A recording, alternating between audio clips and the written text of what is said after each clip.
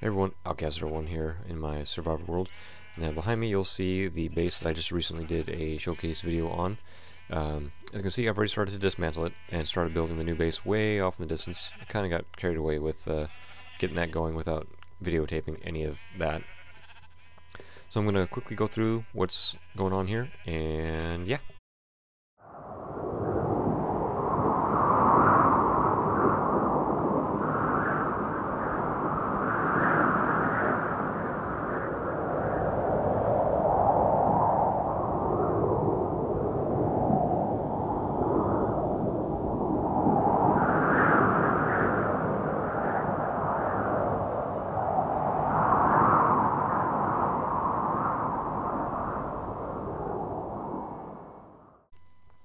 Here's the entrance to the uh, old main base.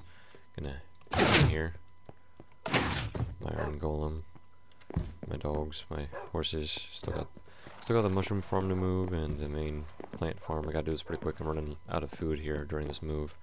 I've already removed the uh, steam system from this floor, and that's already in place with a much bigger flash boiler in the new base, along with some other new stuff. I've started moving some of the items over already. Um, the enchanting table's all set up. Uh, I've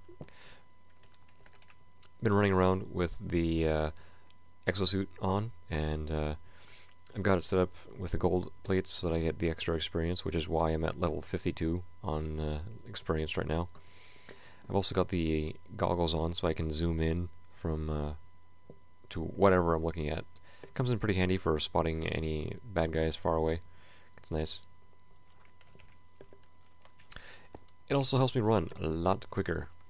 It's nice. It uh, definitely helps me get around the area much, much better. I'm going to keep going with my move here. Don't mind me.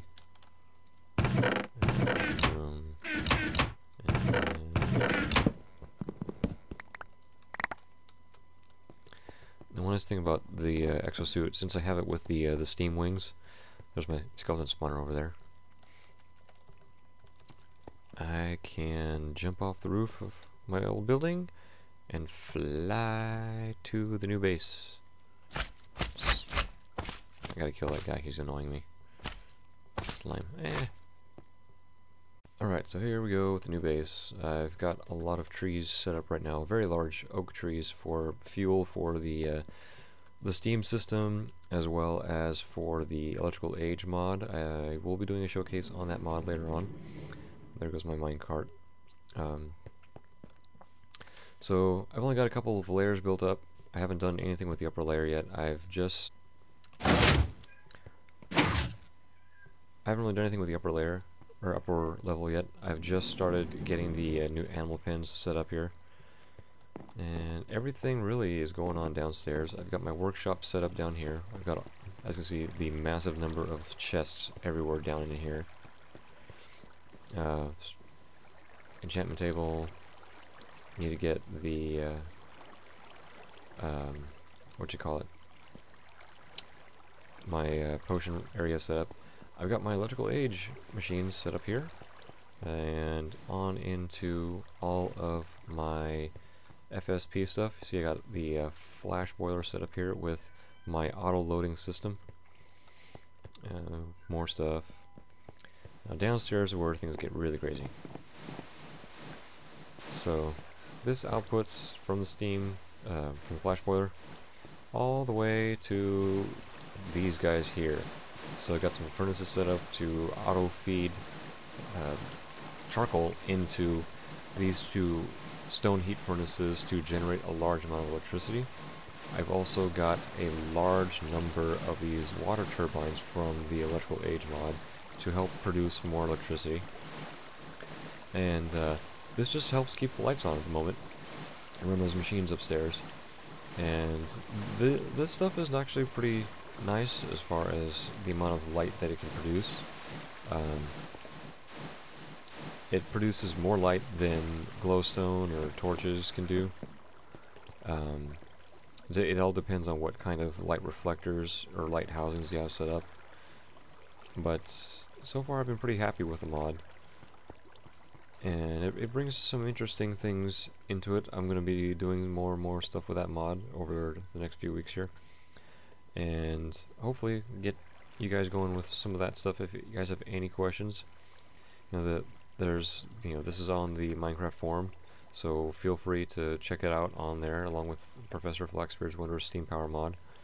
And yeah, I will hopefully get more info for you guys as time goes on and more craziness as things go by. Get some more stuff set up here though, let's see. Okay, so I have run into a problem here now. My old base layout, because I didn't have all of this in the base, I had room for over 50 chests in that one chest room. The way I have this set up right now, I've got room for just over 40. So that's 10 less chests. And because of how I want to organize everything, that's a bit of an issue because I don't have anywhere to put my food right now. I've got all my wood over here, I've got some random junk stuff that I need to organize into these guys over here. I've got sand and gravel and clay and building materials and I'm going to have mob stuff and other materials. I don't have anywhere to put my food. So I think what I'm going to do, I have the enchantment table over here. I can't really do anything around this thing that's you know worthwhile. So I think I'm going to make a kitchen right here. Just make like a little kitchen like setup. And just put my food here. Because quite frankly, I'm I'm kind of out of options here. I don't really have a good spot to put a lot of this stuff. So I'm to build this up and go from there. Alright, so I got my little kitchen set up and I've been also bringing over pretty much everything from the base. So that's pretty much almost all done. One thing I have been running into though is I am running very very low on some metals. I am I'm like out of gold and I need more gold to make more batteries for the electrical age mod to keep these lights on and store power. And yeah. So what I'm gonna do I got some extra gold armor bits here and some iron armor bits and I'm going to uh, come over here. And we're gonna use the crucible here, just like that. And we're going to turn these back into raw materials.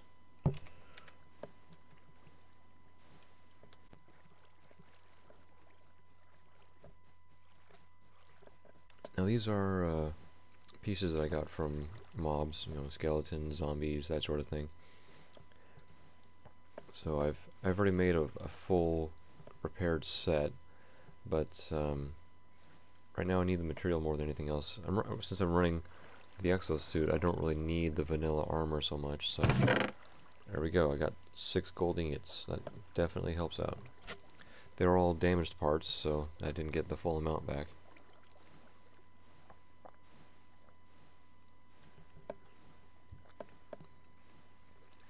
Let's do the same thing with these iron helmets that I've got a couple extra of.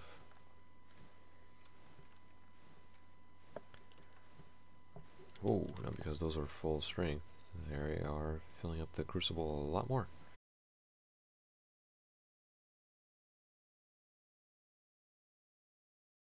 So exciting. Watching me sit here and click this back and forth, back and forth.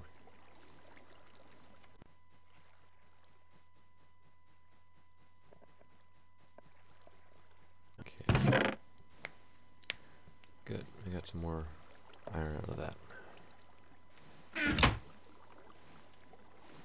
So, the electrical age mod, I haven't really shown you guys any of that stuff, so I'm gonna make me a couple of batteries here. I'm gonna need lead, I'm gonna need the gold, I'll have enough for two batteries. Oh, you know what, can I also do this with golden swords? Let's see. It works with armor, doesn't work with weapons. Ooh, it does. Maybe.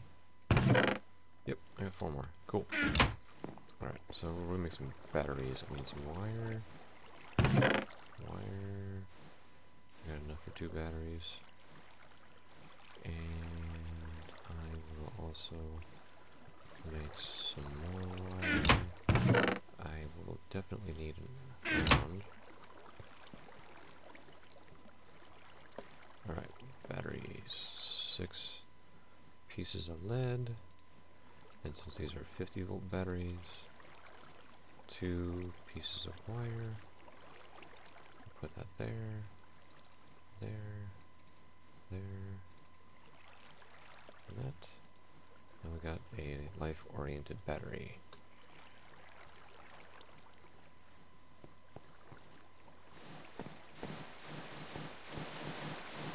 Is I need to get back there.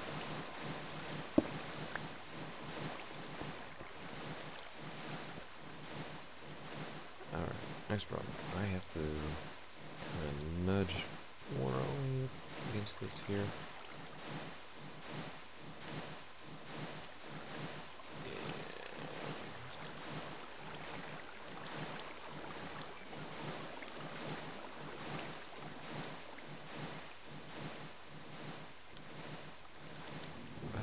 Place there.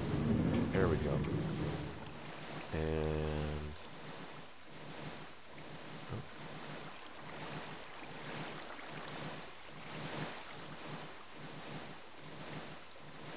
There we go. It's slowly charging up. Or no, it's saying it's power out, but the see the wattage is going down. Oh god.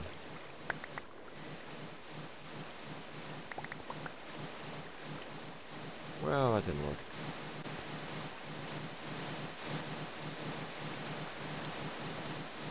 Alright, let's fix this setup here. So, it's raining right now, which is why these guys are substantially louder. They produce more electricity when there's a storm going on. So, they're kind of in overdrive at the moment.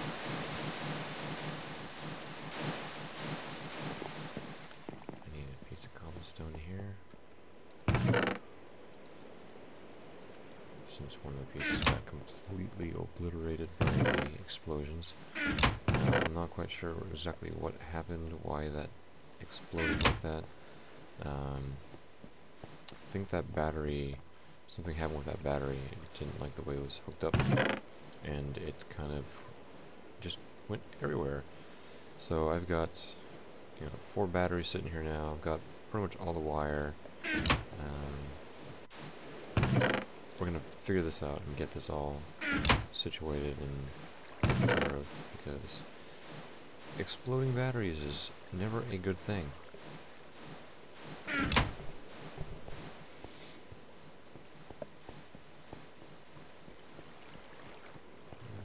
That's right, got my weapons and such over here.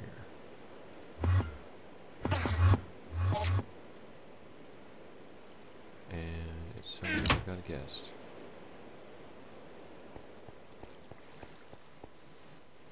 One problem I have with how tall I've made my base.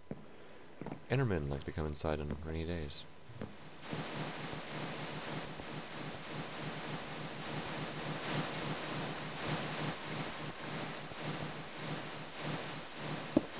Ah.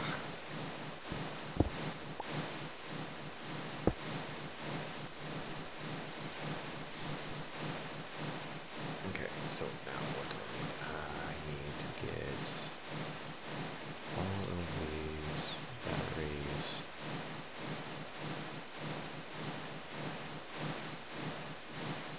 Situated here. And you place them does affect the direction that they are when they're put down. You do need to make sure you put these down in a very specific way. Like that, it's not gonna work.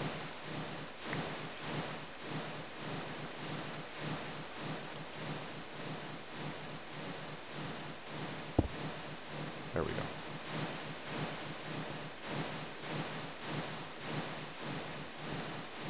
Now because these all have a life expectancy, they uh, also um, diminish over time, so that's why I can't just grab one and then keep selecting the next one.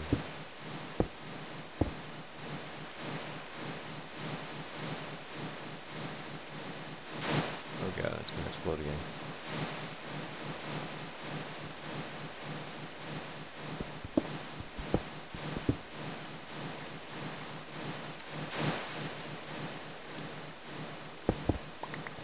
Okay, that's oh, it's suddenly exploding. My batteries are wanting to explode on me. That's very, very bad thing.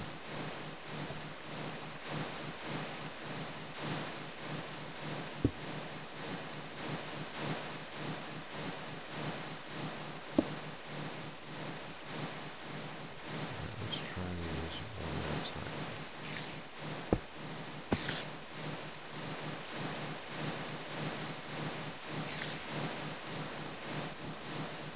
Batteries hooked up. Okay, so they're charging. Upgrade that to a 50 volt. I need to make some overload protection circuits for these guys. That's what I really need to do. And there he is. Alright, so I need to make some protection circuitry for all those batteries. So it's cheap chip, redstone. Okay, and there we go. It's all been done, upgraded. So I've now got about 10 batteries here, right? Four over there, and four over there, and these two. So that'll give me some uh, some backup power should I ever accidentally run out of fuel in the furnaces. It'll give me an opportunity to refill them and uh, keep this whole system going. So yeah, eventually I'm going to have a whole bank of these batteries in one centralized location. I can easily fit about uh, eight right here. Uh, just reorient the way these are going. Put this guy down. Yeah. So it's pretty crazy looking in here right now as it is. I got all these turbines going, just massive amounts of movement.